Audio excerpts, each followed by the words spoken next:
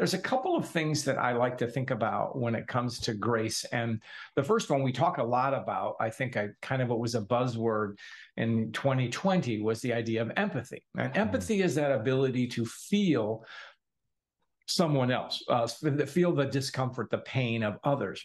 And that's a good thing. You know, it's not sympathizing in a sense that says, "Oh, I understand." It's it's, "Oh, I know what you're going through," but it's this this feeling it. But from a leadership standpoint, what, what um, empathy must become something more. And I like to think of that the expression of empathy is compassion. Okay. Mm-hmm.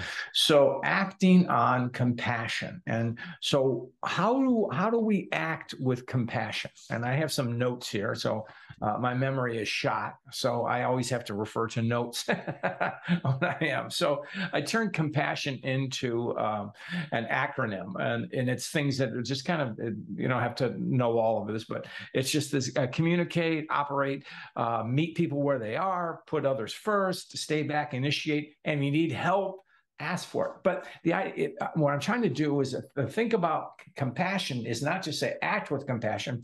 Where go where you are needed. As I said this before, is don't wait to be asked. How can you show? So let's take it for the workplace.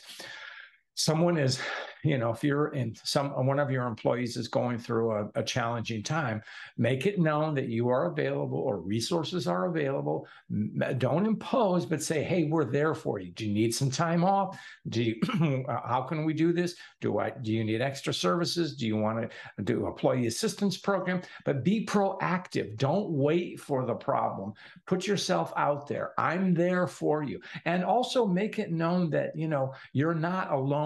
And uh, we we saw this a great deal um, in, in, during the long uh, uh, Iraq War when there, a lot of our vets were suffering uh, post traumatic syndrome. Mm. And what happened was senior officers were coming forward and saying, Hey, I have it too. Okay.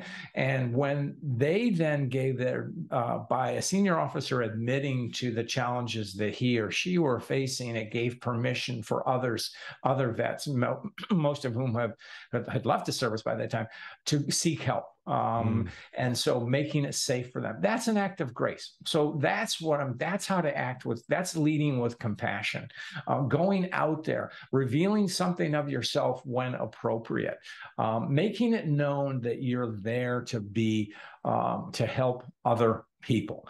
Um, and uh, it, it's just uh, that kind of connection that we see, and we all look for it. You know, we're human beings, um, so we we want that personal um, that others are interested in us.